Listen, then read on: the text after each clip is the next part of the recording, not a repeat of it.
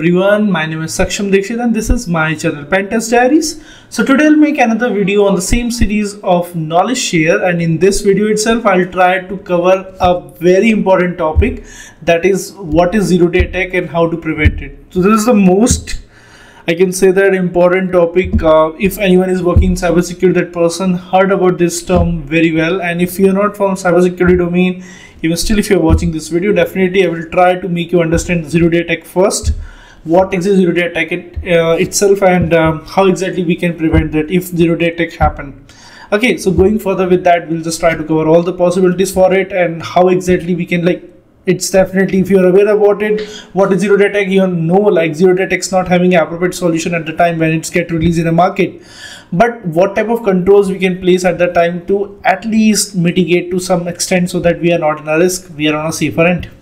So going further with that so what is a zero day attack and how to prevent it that's a main common point every security professional is looking for it so zero day attack, it's in a layman language. I'm just giving you the idea about it. Uh, zero day attack is also called as a zero day. You couple of ways you can see either it's a zero or somewhere uh, in some places you can see zero hyphen day. So that's both the terms are same. Either you can write it as a zero or you write it as a numeric. You can say that uh, alphanumeric is one of the combination for it. You can use it for that. So zero day attack is a cyber attack that exploit previously unknown vulnerability in a software, hardware or a firmware. This means the software vendors or the developers is unaware about the flaws and no patch exists to fix.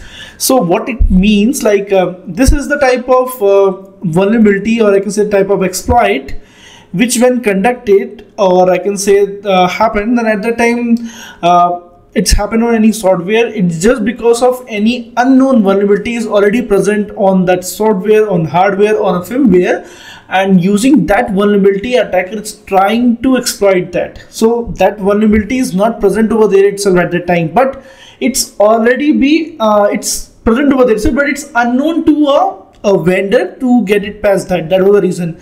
That was the reason once a zero day attack is getting identified at the time there is no patches available for that product that was the reason behind we call it as a zero day attack this creates a window of opportunities for an attacker to exploit the vulnerabilities before anyone know about it. So this will open a window or door, I can say that everything for attacker to exploit that vulnerability and using that exploit maximum impact on that organization on that vendor the attacker is trying to approach. So that is all about the zero day attack. So if anyone asks you about it in a layman language what is zero day attack? It's a type of attack which is uh, which is conducted on the basis of unknown vulnerability present on any software hardware or firmware. And the vendor is not aware about it. That was the reason there is no patches available in the market. That's only a reason behind it. A zero day attack happened.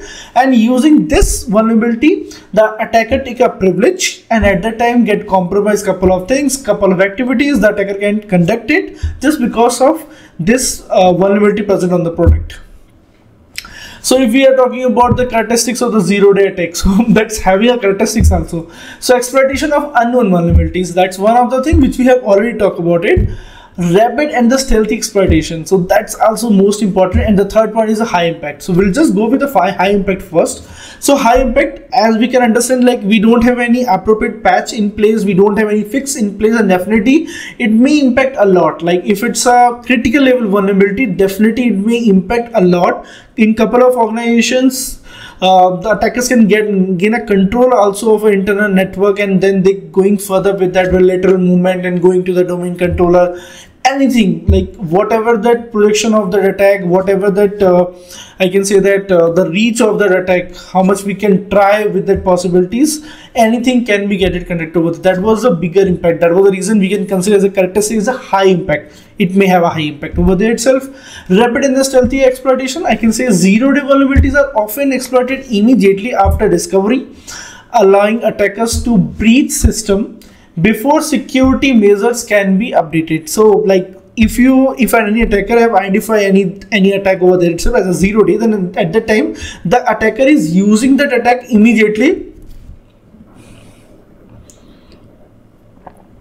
Using that attack immediately so that till any vendor organization is came to know about that symmetry uh, that pattern. Then before that they tried to impact a lot to that organization. That was the reason they just try get it identify that and just once they get identified they going further with that attack itself.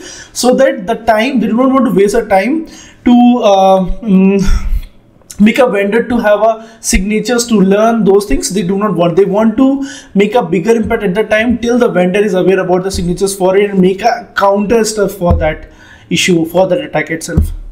And exploitation of unknown vulnerabilities like if it's unknown so we are not having any solution for it that unknown vulnerability can be get exploited that's also one of the characteristics of it.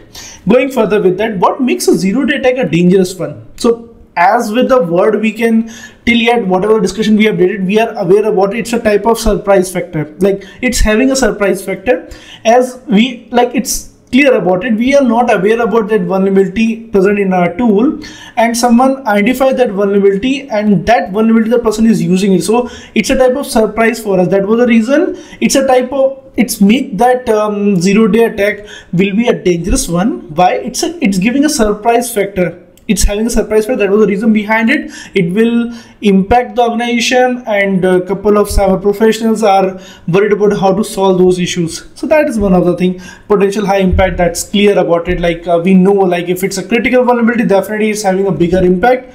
So potential high impact is there itself an advanced attacker so definitely in case of advanced attack context like the sophisticated attackers they can utilize a type of zero day attack and they try a bigger organization just to gain a lot of information try to retrieve the data out of that organization itself if there, there is a possibility with that zero day attack. So they try all the possibility that's also coming and make it a dangerous zero day attack going further with the how to prevent it. Now i'm talking about how to prevent it but i'm not saying that this is the appropriate solution. This is just a countermeasures for the zero day attack. Like definitely if any zero day attack is getting conducted get it identify uh, in, or uh, discover get it identify or discover in the market itself and definitely at that time there is no patch available. With the symmetry we can try multiple possibilities. We can try okay this is also one of the thing is we are seeing it like sustainable traffic. We'll, we can block sustainable traffic. It may be possibility we can we can prevent our infrastructure or we can prevent our application. So that's one of the thing. So patch management is one of the thing. We have to be patch our servers patch our devices firmware with the latest firmwares up to date. Make sure it should be up to date itself. Make sure it should be get it reflected appropriately. There is no outdated products you're supposed to use it. If you're using it make sure that either it's a isolated environment or that environment is not having any connectivity with your primary environment primary infrastructure itself security softwares use definitely required appropriate antivirus anti-malware uh, softwares to be in place so that if anything like um, attacking to the users at least you have these measures endpoint security level stuffs you have it in place so that by that you can prevent the users and by that that this is the initial point. Like i can say any attack happened to the organization couple of times like out of 100 attacks if i can say that almost 90 to 95 percent time the users employees will be a target for the attacker. They try multiple things on the employees. They're sending multiple things to the employees and once the employee clicked on it definitely that will give a control. Multiple type of things will get conducted as per the attack. What type of simulation the attacker is trying to get it conducted on that employee that thing happened very easily. So that's also one of the things. So we have to be use a proper security software in place just because of that we can at least be prevented our endpoints instead of just um, make that uh, devices to be get it compromised very easily for the attacker.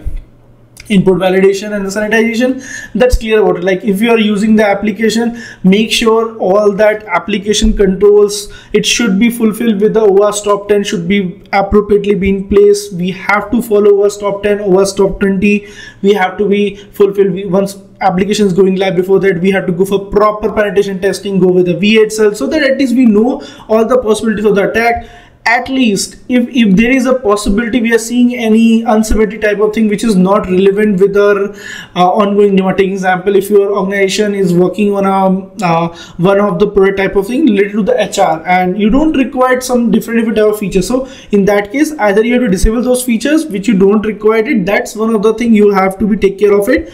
So input validation is also one of the thing where you have to check each and every steps appropriately there is no possibility for that where uh, any exercise or injection will be get conducted which may lead to reach to that unknown vulnerability which is already present on that software. So that's also another thing.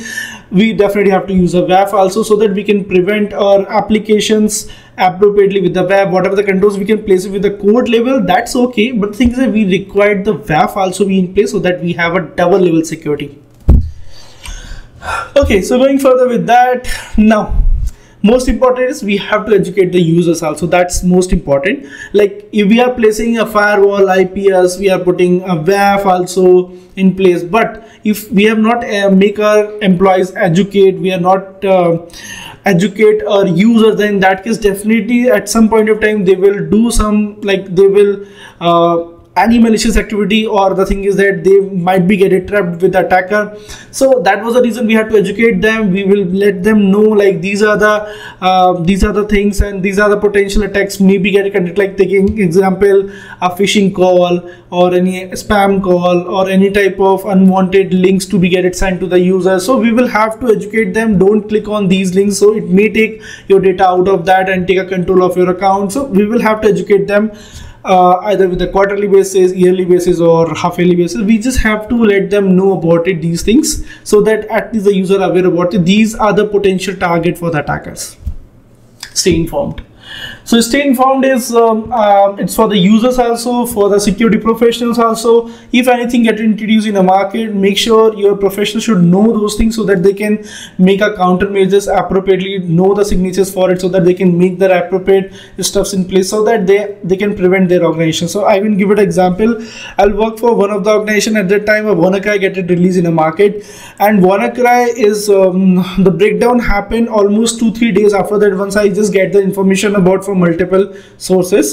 So i get that information about it and then what i did like i'll just inform to my uh, chief. I'm reporting to the chief over there itself. I'll just report to that person like uh, uh, this is might be a potential stuff. Like till then uh, there are a couple of stuffs over there itself but they are not given as a name in couple of forums you will you will get the intuition like these other things may happen but the thing is that they they don't have any appropriate concrete statement over it. So like this is a type of exploit day attack will be getting uh, um, it may be blast the whole market cyber world itself. They are not telling that. So at the time i'm just getting this is one of the potential type of exploit so two or two things are just i'm just seeing it continuously instead of that forum. So i thought that i just have to inform my team and they're just working on it simultaneously. So once after three days that thing is getting introduced in a market and zero everyone is come to know about the WannaCry. At that time at least we have just secured almost 70 percent section of it. So that was one of the thing. I can say that if you are